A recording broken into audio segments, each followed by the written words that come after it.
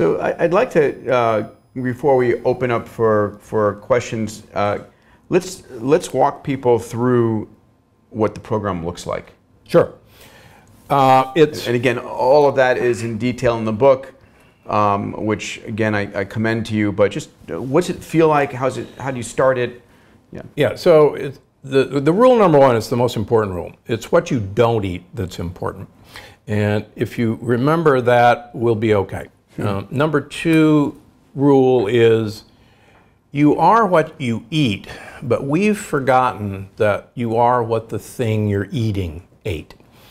And so, for instance, if a cow is fed corn and beans, that cow is basically an ear of corn with uh, meat on it. Uh, a chicken that's fed corn is no longer a chicken, it's an ear of corn with feathers. And it's amazing the number of people that I've seen that it was the organic free range chicken that was the cause of their lupus. And when we took their organic free range chicken away from them, uh, their lupus went away. So let's let's drill down because that was a, a, fascinating insight to me. At the end of the day, when you're eating uh, pasture raised beef or free range chicken, that doesn't guarantee you anything. Correct, because the federal government allowed the law to be changed that an organ- that a free range chicken can be kept in a warehouse its entire life fed corn and grains and soybeans, and never has to be let outside. And as long as you open a door to the outside for five minutes every 24 hours. That's I, I, the law. I mean, it's like, it's such crazy bullshit that it drives me nuts, right? So, in other words, the, the chicken has the potential option of going out That's and right. being free in, in a range for five minutes. For five minutes. So, um, and of course, it's crammed in there with 10, uh, 100,000 other chickens, and it can't get to the door.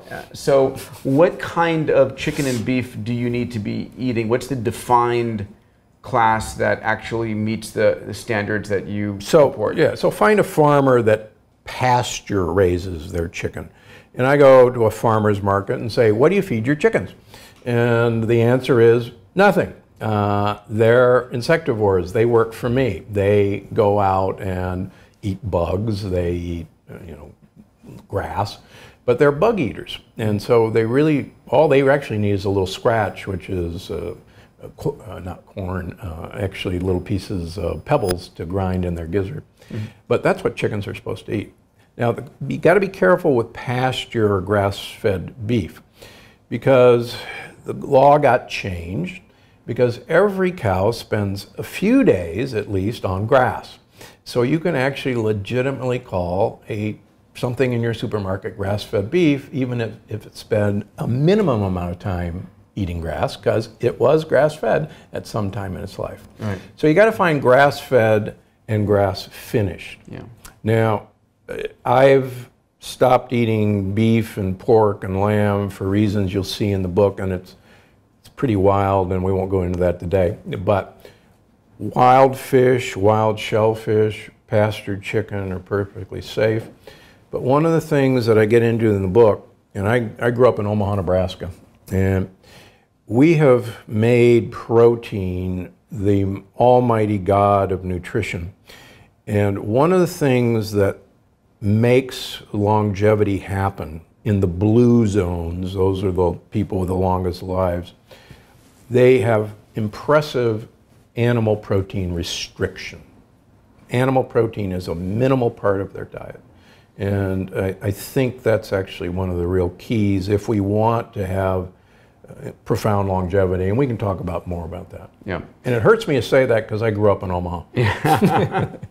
uh, so, uh, and it's interesting, right? Uh, uh, we both know of, of uh, individuals who go on uh, caloric restriction diets to lengthen their lives. And uh, when you're only getting, you know, 1,200 calories versus 3,000, every calorie you take in is something like you like. I want that calorie. You become very specific of what calories you take in, and uh, and you you taught me something about what they've been doing that's absolutely wrong. Yeah, it's uh, the St. Louis University has a, a long, ongoing study of the Calorie Restriction Society, and like Peter says, these are folks who really restrict their calories uh, about 35% of normal.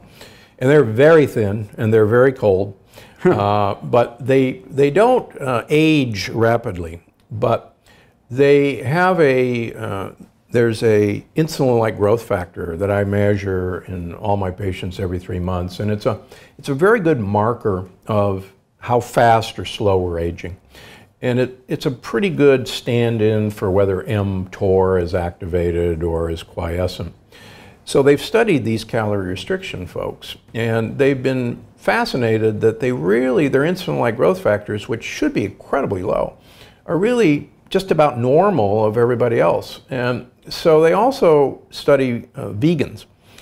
And so they asked, and vegans carry very low insulin-like growth factors. Um, so they asked some of the Calorie Restriction Society folks to eat vegan but keep their calories restricted, but eliminate animal protein. Right. And like you say, these guys love every last calorie, and so they tend to eat a lot of their calories as, as animal protein because if you're not going to get much, you might as well enjoy it. Yep.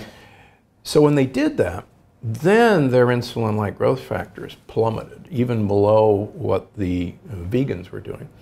And so uh, that study and also a couple of studies in long-term rhesus monkeys, which also implicates that it's the protein load that really makes the long-term difference uh, in longevity. Mm-hmm. And again, it just it breaks my heart, but I think it's true. um, you take supplements. Yes, I do. Uh, I do as well. Uh, my dear friend Ray Kurzweil does uh, too. Uh, his wife says Ray has a superpower: his ability to swallow handfuls of pills in one, one drink.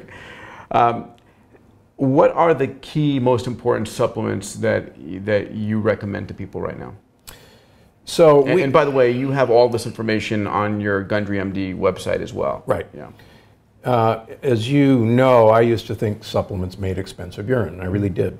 Um, the the, the pleasure my patients have given to me, and I dedicated this book to my patients who really have taught me everything I know or made me find out everything I know, mm-hmm.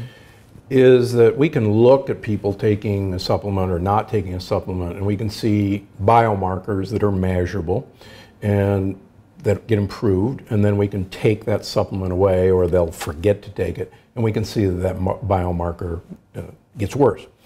So one of the things we should all be taking is huge amounts of polyphenols. Right. Now, again, we're designed to interact with plant compounds, uh, particularly compounds in dark uh, berries. where actually should have a lot of the polyphenols in coffee.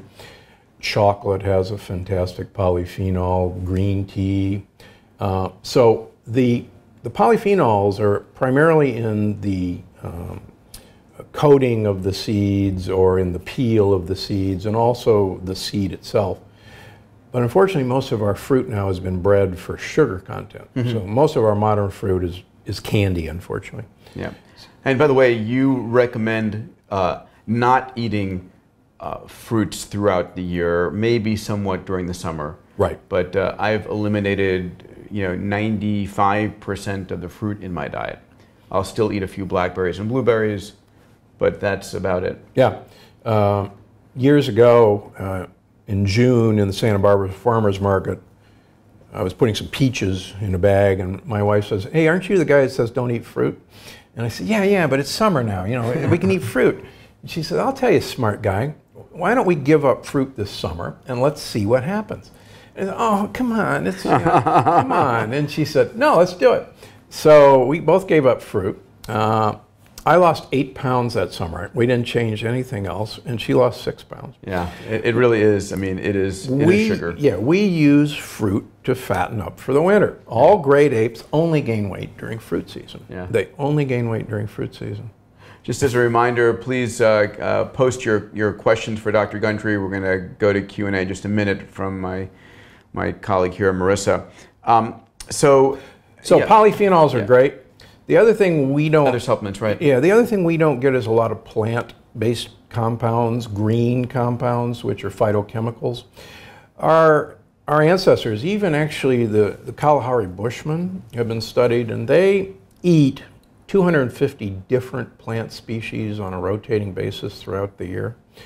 And they interact with all those phytochemicals, and those phytochemicals change their bacteria genome, and those phytochemicals communicate to our genome.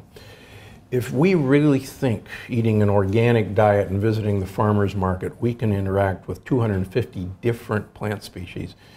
You know, I got oceanfront property in Palm Springs to sell you. Uh, it can't be done. So we've got to get those back in our diet. And the third thing that people have to get back in their diet is what are called prebiotics. Now, most people have heard of probiotics, sure. those are the bacteria. But the bacteria have to have something to eat. And these guys thrive on uh, complex starches, fructooligosaccharides, oligosaccharides, that they eat and reproduce. And the cool thing is that these sorts of sugar molecules we can't digest. And the other cool thing is the obesogenic bacteria can't digest these complex sugar molecules. So, what are some examples uh, there? So, uh, one of the most famous ones is glucomannan or konjac root. Uh, there's a number of very good products on the market. I'll give a shout out to Miracle Noodles. Uh, Jonathan Karp, MD from the LA area, makes Miracle Noodles. They're noodles or rice that are made out of the konjac root and bugs love this stuff. Inulin, which is a fructooligosaccharide, is also a great thing. You can use acacia powder, you can use psyllium. Psyllium husks are a fermentable fiber. Mm -hmm. In terms of vegetables, uh, Jerusalem artichokes, sometimes sunchokes, are fantastic. Taro root is wonderful. My wife and I had some taro root chips last night, as a matter of fact. Sweet potatoes are fine. Um, just make but. Sure. but they they're there as a delivery device to get olive oil into your mouth.